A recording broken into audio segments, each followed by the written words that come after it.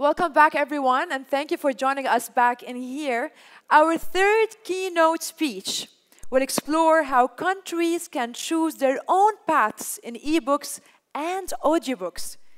He is not only the president and CEO of a global digital bestseller, Rakuten Kobo, but also advises startups focused on aging and technology as chief entrepreneur of Age Well NCE. Ladies and gentlemen, please join me in welcoming Michael Tamblyn to the stage. Thank you.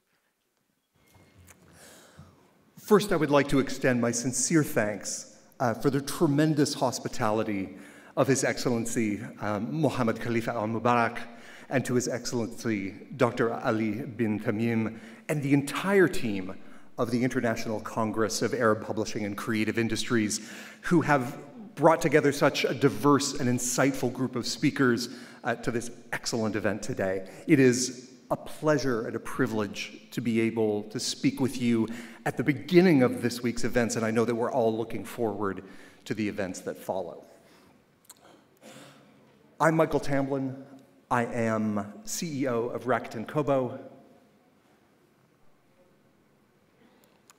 There we go. Um, at our heart, we are booksellers. Uh, booksellers who've chosen to focus on ebooks, e readers, apps, and audiobooks. Um, and when we started in 2009, we believed that with ebooks, the rules were going to be different um, that unlike print books, there wouldn't be a biggest ebook retailer of the UK and a different biggest ebook retailer for France or for Japan. That this would be a time of global platforms. Uh, because the investment, the cost of building uh, and innovating in digital would be bigger than any one market could support. And we wanted to be one of them.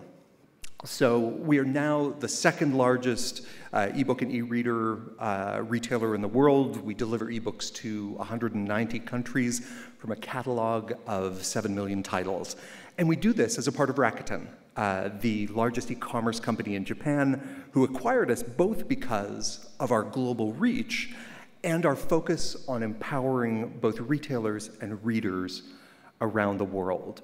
And we are very much in that middle point between the world of paper and the world of screens with, a, um, with the focus and immersiveness of deep reading, uh, but with the accessibility and portability that technology provides.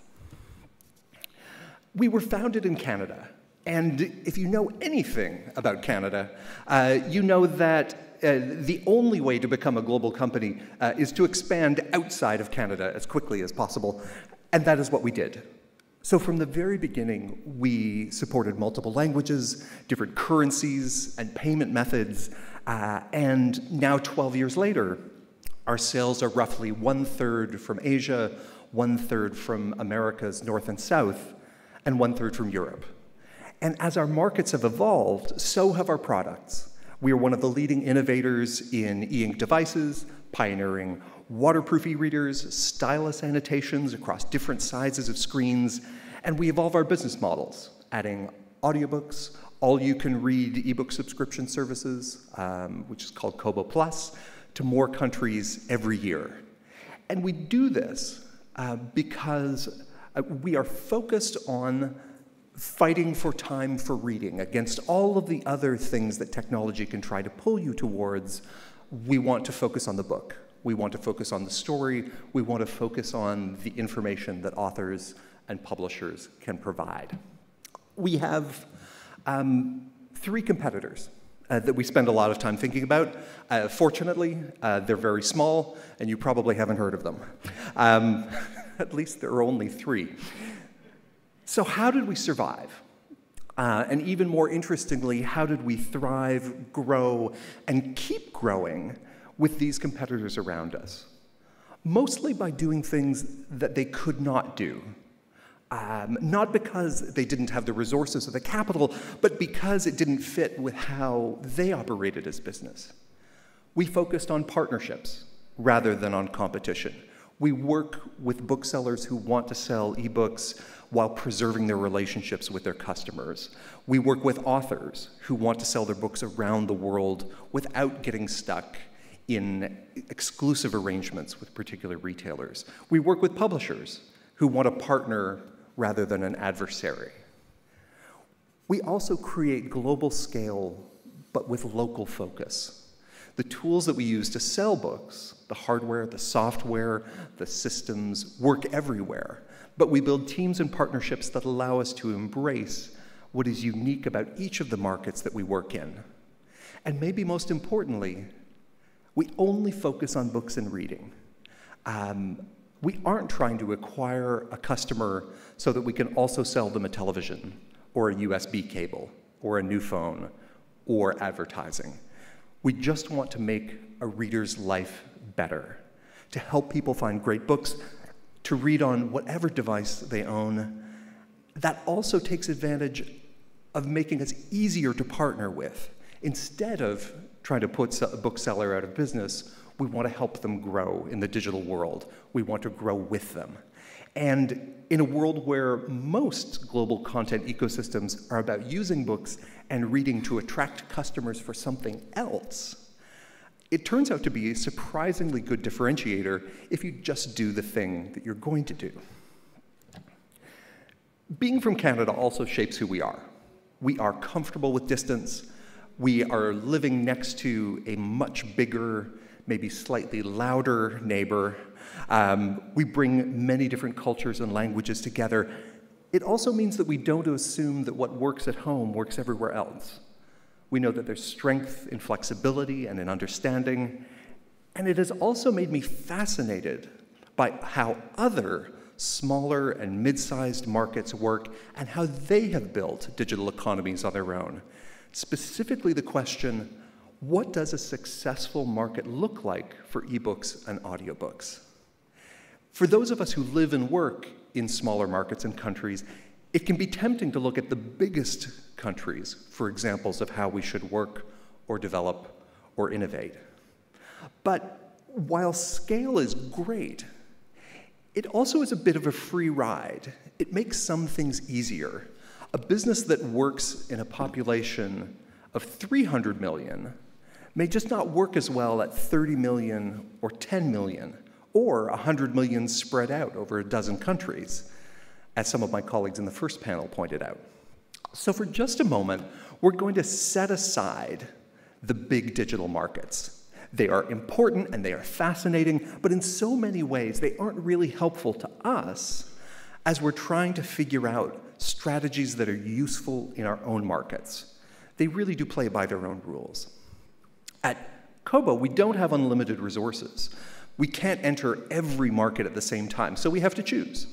And when we look at whether or not a market is ready for us, we're really looking at five things.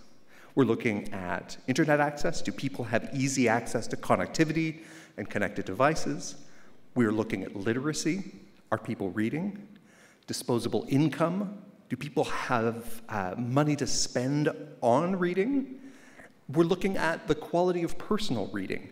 Do people like to spend some of that money on books and reading? And then, especially for us, are there ebooks or audiobooks that are available in digital format that we can sell? Internet access is growing every year, and uh, there are many markets with high literacy rates, um, and more and more countries that have increasing levels of disposable income. But these don't all track together. Some countries have high literacy, with a focus on education, business, and technical skills, but don't read for enjoyment. Um, we tend to focus on markets where there is some population that likes reading for enjoyment, who likes collecting and buying books for themselves, whether that's for entertainment, for personal education, or for information. But even then, we still have to see if there are books that we can sell. Those last two criteria, personal purchasing of books and digital availability, are the ones that are most important to us. Um, and you will notice that population isn't on this list when we're trying to size the opportunity of digital markets. There are countries of 150 million that don't yet have the conditions for a good ebook market. On the other hand, Storytel is an excellent example of building a perfectly good audiobook business in a country with 10 million people. And Kobo has a very successful business in Netherlands with just over 17 million people. Disposable income, spending on books, and availability of content and digital matter most of all for getting a market like this up and running. Now, we in this room can't do much about disposable income for a country. That's macroeconomics. Um, and we can't change the culture of purchasing books. That's something that moves slowly over decades and is the work of educators, governments, and media, and publishers, and authors. But the availability of digital content is something that we can do something about. And in smaller markets and in emerging markets especially, and by smaller, I really mean any of us who do not live in China, the US, the UK, Germany, and Japan, we really have two choices. We can let our markets be defined by other larger markets. If you're a fan of totally free market capitalism, this may be the path for you. The second op uh, option, though, is to make specific decisions to do things differently, to make our own rules. That could involve private business, but also involves governments and industry associations and groups working together to decide what the digital future should look like, and making policy decisions and creating programs that support that goal. If you're like Canada, a small country right next to a very big one, you think about these choices a lot. Sometimes we choose option one. We decided that we weren't interested, for example, in making our own cars. So our cars come from the US and Japan and Korea and Europe like everyone else's. We, um, but we took a different approach to culture. We made laws and built programs around music, books, film, radio, and television. We protected languages. We engage in a level of cultural funding, not as much as our uh, friends in Europe, but much more than our friends in the US, because we don't have the economies of scale that they do we had to decide to have a culture and support it. And the same is true as we made our move into digital culture. And that's what has me so interested here is in all the rest of the world that doesn't live in giant markets, what are the things that we can do to become healthy, interesting digital economies that reflect the cultures we inhabit? What's interesting is that because we've been working in so many different markets, um, we've seen many of these programs and policies at work. And some are supported by governments, some by industry, some are a mix of both, but they generally include some of these six elements wide distribution, the ability for publishers to sell books to every retailer, ebook conversion, the ability for publishers to convert their titles easily and cheaply into digital formats, the availability of aggregators and distributors who could collect ebooks into places uh, that were easy to access. The rise of self publishing um, as a service for individual authors, the availability of audiobook production services to make high quality audiobooks available, and global distribution, meaning the ability for a publisher or an author to sell ebooks in any country where an author, uh, reader wants to read it. I'm not suggesting that every country or every language group needs to be able to provide all of these things to their book industry to have a successful digital market. But I am saying that the more of these components are available, the more that a market has, the more control of their digital economy they will have. And the easier it will be to encourage better options and more competition for the readers in their market. A perfect example of this is the idea of wide availability. In the print world, a publisher sells to every bookstore that they can, and it would be very rare for a publisher to agree to sell to only one retailer. But this happens all the time in the digital market and is a significant inhibitor to digital growth. We call it the convert and capture problem. Digital retailers love exclusivity if they can get it easily. It keeps other retailers from getting into a market, it differentiates them, and it keeps publishers focused on the needs of one retailer instead of spreading it across multiple ones.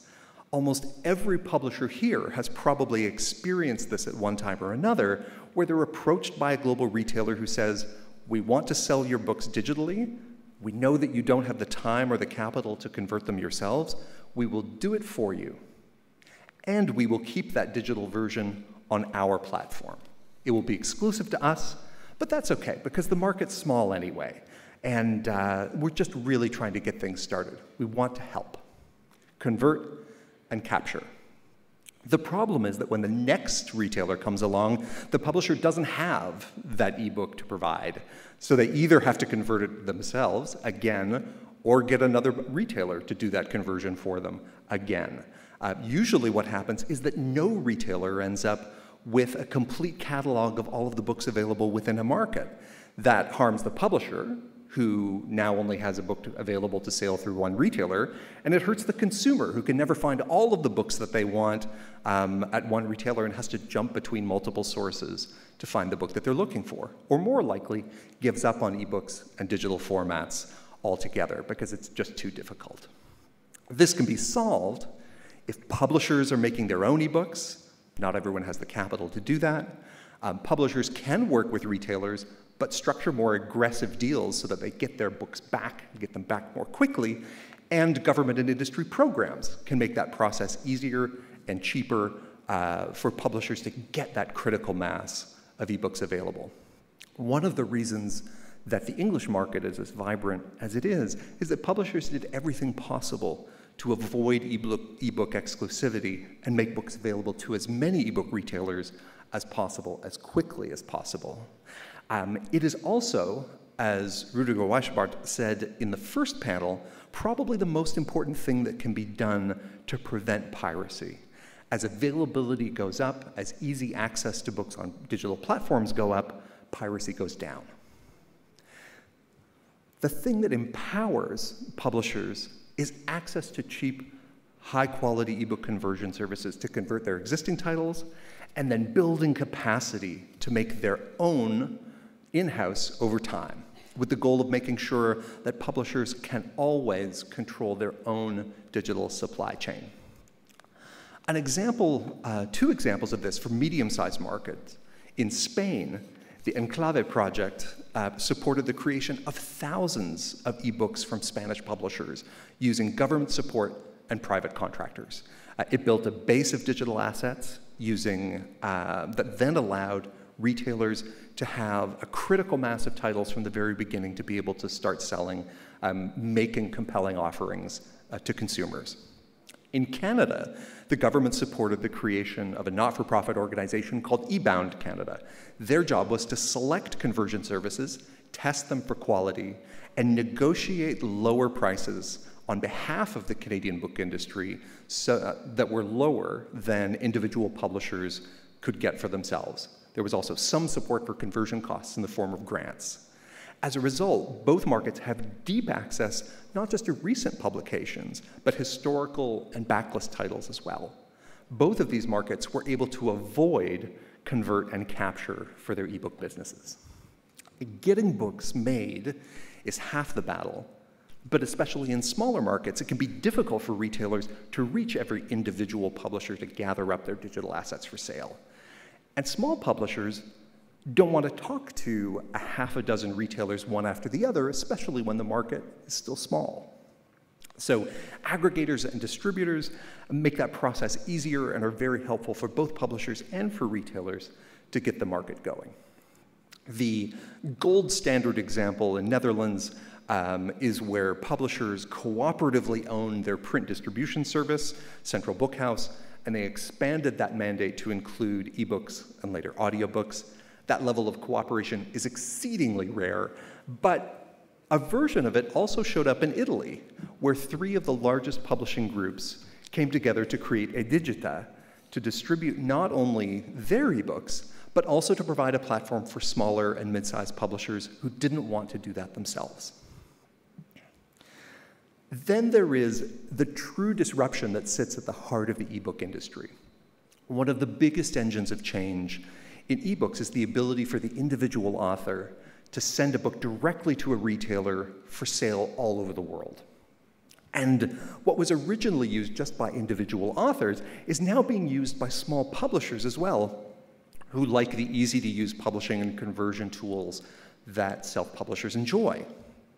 But what makes self publishing so important is that all of the experimentation um, in an ebook market tends to happen in the self publishing space. Self published authors experiment with prices, with formats. They break books up and they sell them as series. They're the first ones to try new business models. Um, and they are uh, you know, the first to try all you can read subscription services. They price aggressively. Uh, they move into high demand categories and fill them with new titles. And over time, they produce at a level of quality that is as good as anything that is published by a traditional publisher. And just to give you a sense of how much of a transformation has taken place, in English language markets now, for us, 20 to 25% of all of the titles read in digital are coming from self published authors. In France, in Spain, in Netherlands, it's 10% and climbing. It's now hard to tell in some cases where traditional publishing ends and self publishing or independent publishing begins because they are running sophisticated marketing campaigns, they are in direct contact with their customers, they hire editors and designers to make their work as high quality as possible. And what's interesting is that almost none of this commercial activity shows up on um, in sort of industry reports, in sales reports today. Um, and because of that, I'll make two corrections uh, to the chart that my keynote colleague, um, Nicholas Carr, presented earlier. Uh, the 78% of the book market that's in print um, has, uh, has two things that I'd make a correction to. Um, one, it showed revenue rather than units. Um, and so that sort of overemphasizes the value of print, which sells at higher prices. It was also only coming from traditional publishers. So it was self reported data from the American Association of Publishers, which means that all of the self publishing and independent publishing sits outside of that data, uh, which is why we more often hear numbers like uh, 18% of discretionary reading is happening in digital in the US. The only risk with self publishing, again, is retailers trying to lock authors into exclusive relationships, but that is changing all the time. Both Kobo's self publishing program um, and programs that we see across the EU manage to avoid this by giving authors back their ebook files after they've created it so that they can send them on to other retailers. And we add a high level of additional reporting and business intelligence to, so that authors can make better decisions about how they market and promote their books. The same is true across Europe. Almost every market now has a self publishing company that works with all retailers and all authors uh, providing conversion tools and aggregation and payment services to authors so that they can create their books in one place and then have them sent to all retailers at the same time. What is true with ebook creation is also true with audiobooks. The same need exists to be able to do high quality creation of content um, and then have that delivered to as many retailers as possible. Audiobooks also, as my colleague from Storytel, Storytel so well represented on the panel this morning, creates access to a younger, smartphone based market um, that is accessing content at different times of day. And, uh, um, and so, whether that is driving to work, um, doing the dishes at home, or, uh, or exercising, another time of the day is available for reading. There are the same risks as well. Um, retailers playing convert and capture with audiobooks. The challenge is that while an ebook may cost anywhere between 50 and $200 to produce, an audiobook could be $5,000 a title or more. This makes it harder for publishers to say no to a retailer offering to take on the cost of producing an audiobook uh, in exchange for an exclusive relationship. This is also, this extra expense has made it harder for governments to get involved in audiobook creation. So many of the strategies that prevented lock in in the ebook market weren't used in audiobooks. And so, unlike the ebook market, the audiobook market right now is quite fragmented because many retailers pursued convert and capture strategies. In all languages, um, either converting titles for exclusive sale or buying rights outright has created that fragmentation. In Italy, for example, no retailer has a complete catalog of the best selling Italian books in audiobook format. They were broken up between competing retailers, and the result is a poorer customer experience all around. The last factor that I'll describe today is global distribution. If a publisher has rights to sell a book globally, they can truly let ebook retailers sell that book anywhere in the world. Just to give an example, almost every country in which we operate, at least 20% of the books that we sell are in a language other than the main language in that country. We sell Spanish books in the US, we sell English books in Sweden, Turkish books in Germany, and so on. We are also able to sell languages that are broadly spread out across multiple countries. A perfect example of this is our experience selling traditional Chinese content. This is the version of written Chinese that is most often used outside of China, found in Taiwan, Hong Kong, Malaysia, Singapore, and Chinese expats and immigrants around the world. When we first started uh, visiting Taiwan in 2014, the conditions just weren't right. Many of those ones that I listed earlier uh, just hadn't reached um, the level of readiness that we needed to be able to start selling uh, content there. Publishers were still unsure about whether there was a real market for ebooks, and the books hadn't been converted yet. So we waited. We tried again in 2016. This time the conditions were right. Uh, publishers were ready, there were ebooks to sell, we had retail partnerships, we built a local team, and sales grew quickly. Then we started moving to other traditional Chinese markets, starting with Hong Kong, and now Malaysia, and Singapore, and now we're reaching out to the rest of the Chinese diaspora across many different countries, including the US, Canada, Australia. Publishers are finding sales that used to be very difficult to reach because physical distribution was difficult, moving books around was hard, finding individual small pockets of readers in each individual country was very difficult. Um, and now they can gain those same sales with the same digital file that they created for the home Taiwanese market. So these are the conditions that we look for that make up a healthy, competitive digital um, book economy. And like I said, these don't all have to be present. But the more that there are there, the better it is for retailers, for publishers, and most importantly, for authors and readers. The good news is, no one has to build these alone.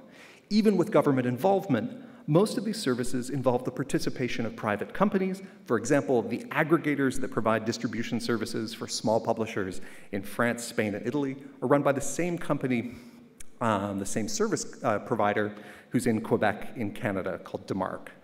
And the company Findaway is a global aggregator of audiobook who provides do-it-yourself um, audiobook production and voice talent services for individual authors and publishers all over the world. Where government support can be helpful is getting service providers um, uh, kind of connected to local markets, whether that's in the form of publisher outreach, supporting software development for local payments or languages, or supporting local staff. It's also important to remember that some things just take time.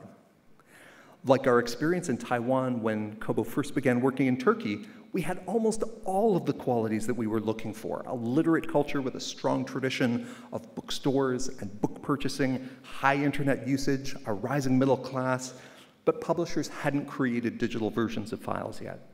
So we waited, we worked with publishers associations and retailers. We came back three years later to find everything ready, including a retail partner and device distribution.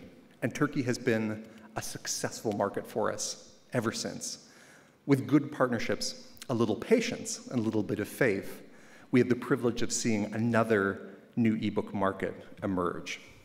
And in the theme of good things that come to those who wait, I'm pleased to be able to announce that finally, uh, for the first time, Kobo's e-readers will be supporting Arabic starting in Q4 of, the, of this year. And that, I hope, will be the first of many steps to greater support for a fascinating and growing market. If I'm lucky, I will get to see many more emergences like this in the future. And I hope that this has been helpful for those making decisions about their own books and their own businesses or the countries and literary traditions in which they live and work. Again, my sincere thanks to today's organizers for the chance to speak with you. It has been my great pleasure to do so. Thank you.